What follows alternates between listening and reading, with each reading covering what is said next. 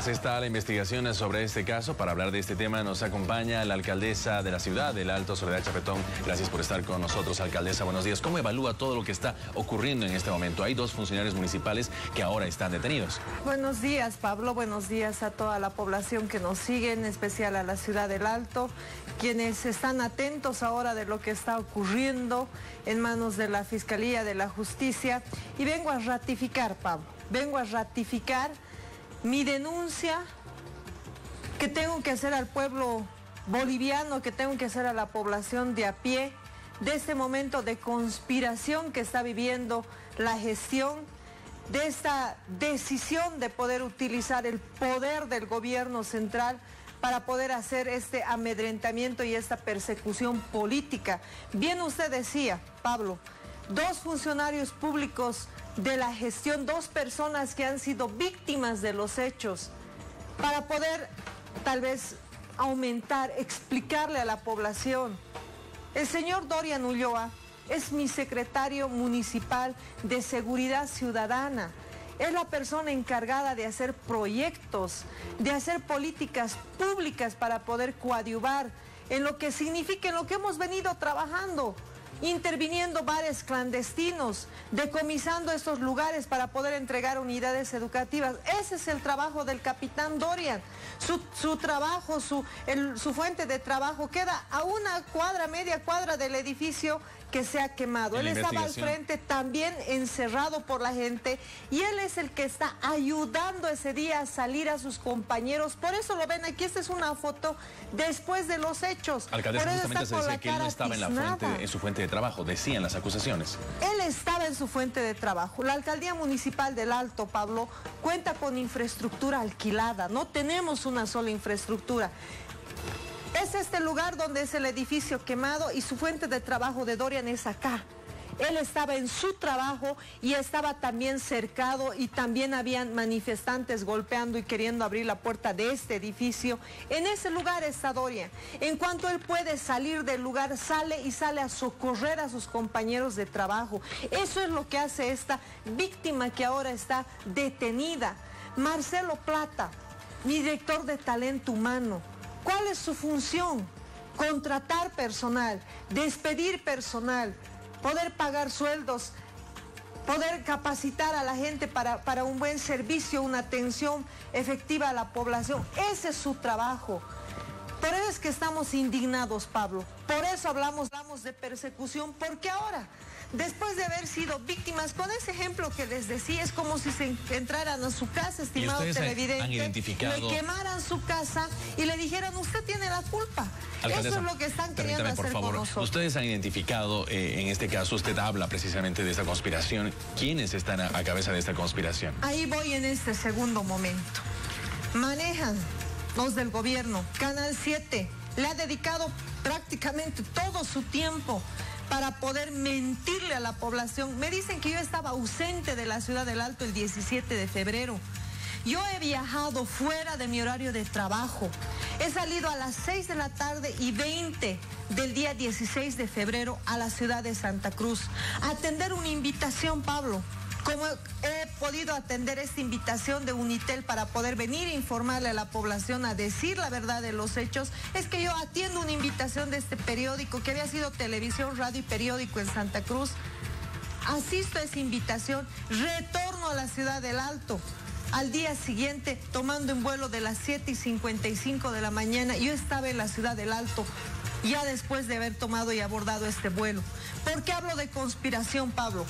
¿Quiénes están sacando esta información? ¿Quiénes tienen acceso a poder pedir la copia de los videos de SAPSA del aeropuerto? De los boletos de BOA. Son, son empresas estatales.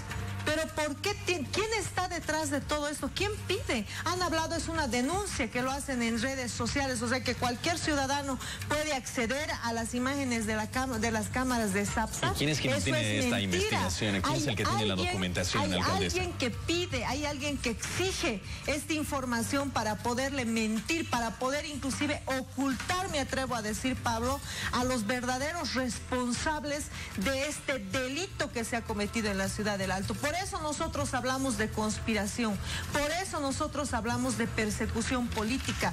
¿Dónde están estos actores, los actores que han convocado, los que han sido tomados en imágenes, en videos, en fotos. ¿Dónde está don Henry Alcón, Pablo, que ha sido secretario municipal de Desarrollo Humano, uno de los que hoy está siendo investigado por el caso de escuelas dignas?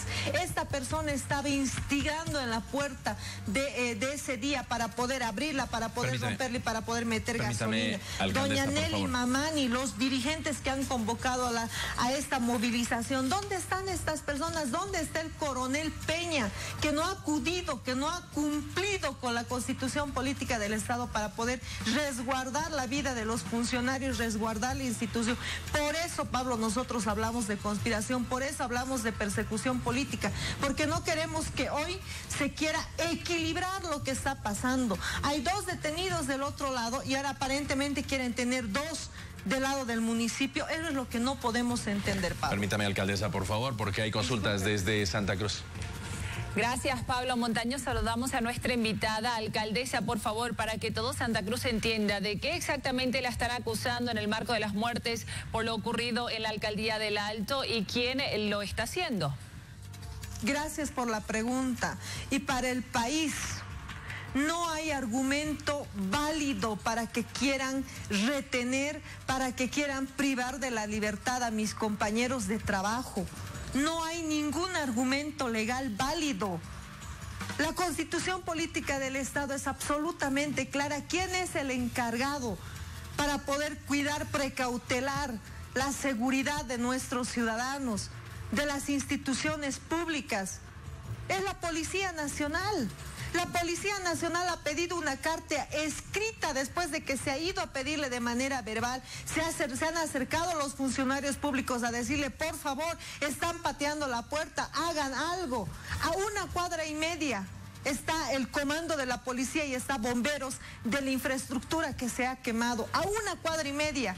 Después de las peticiones verbales, telefónicas, han pedido un documento escrito. 10 y 20 de la mañana se ha presentado un documento escrito para solicitar resguardo y no han hecho caso. ¿Dónde está ahora la investigación certera de ello? ¿Cómo pueden querer comparar cuando hay indicios claros de responsabilidad en el caso del señor Rocha? Cuando es uno de los primeros de que inclusive antes de que yo ingrese a la alcaldía municipal por decisión del voto mayoritario de la ciudad del Alto me amenaza. E indicios claros del señor Sarsuri, que hoy también está detenido, donde se lo ve y al igual que estas personas en la manifestación, caldeando, llamando a la gente, él es ex candidato del movimiento al socialismo de la ciudad del Alto, al concejalía. ¿Cómo pueden querer comparar eso con dos víctimas? Es como si se hubiera, hubiera sucedido un acto de violación y vienen y le dicen a la mujer, usted tiene la culpa. Eso es lo que están queriendo hacer. Eso es lo que nosotros no vamos a permitir. No Alcaldesa. Utilizar la vida. ¿Ve un trasfondo político entonces en estas denuncias? ¿Ve un trasfondo político en estas denuncias? Le preguntaba. Veo, un trasfondo político, veo un trasfondo político y pido al fiscal general del Estado Pido a los fiscales, Dios quiera de que no haya ninguna instrucción de equilibrio, de que vamos a detener dos de aquí y dos de aquí. Espero francamente de que no haya ese, porque no solamente los ojos de los salteños están sobre este caso, están también los ojos internacionales de lo que está ocurriendo. No puede ser de que quieran utilizar a dos víctimas de los hechos para poder hacerlos parte de una investigación. ¿Dónde están los verdaderos actores? ¿Dónde están estas autoridades realmente llamadas por norma y por ley? Hay leyes en el Estado. No hay justificativo alguno. Los abogados, todos los abogados que hemos consultado, internos, externos, nos han dicho, esta detención no tiene justificación, no hay, legalmente no está sustentado. Aquí lo único que puede pasar es otra vez un acto político que no es justo de que se cometa porque hoy las víctimas están exigiendo justicia. Y hoy también nosotros nos sumamos a ese dolor de la gente y quiero agradecer, incluidos estos dos compañeros, a varios otros que han ayudado a salir a sus compañeros de trabajo del lugar y así salvar sus vidas. Le agradezco por acceder a esta entrevista a la alcaldesa de la ciudad del Alto, Soledad Chapetón. Muchas gracias, Pablo, muchas gracias y de verdad nuevamente reitero, esos videos el Canal 7 que le está destinando tiempo para poderle mentir a la población y tergiversar la verdad, lo único que está haciendo es ocultar a los verdaderos autores de este crimen que ha sufrido la alcaldía municipal del Alto. Muchísimas gracias. Continuamos con más en la revista.